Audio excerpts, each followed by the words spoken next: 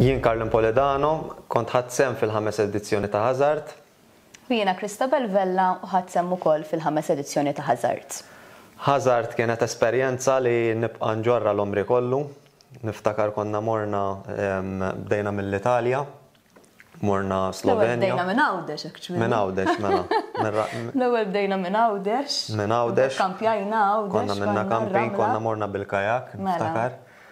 U minn dakinhar l-hemm avventura wara l-oħra u kienet tal-bliħ nista' ngħid. Waħda wara l-oħra.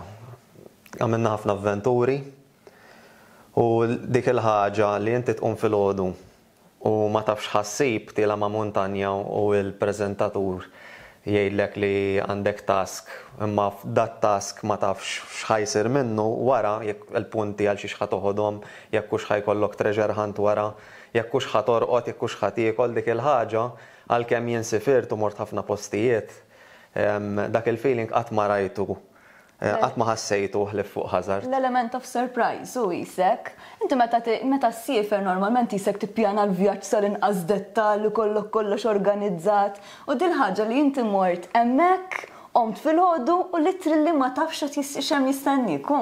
Dik kienet xi ħaġa tal-blieh li kull meta nirrakonta anke ma' sħabi dak il-feeling l-iktar xi ħaġa li nibqa' niftakar.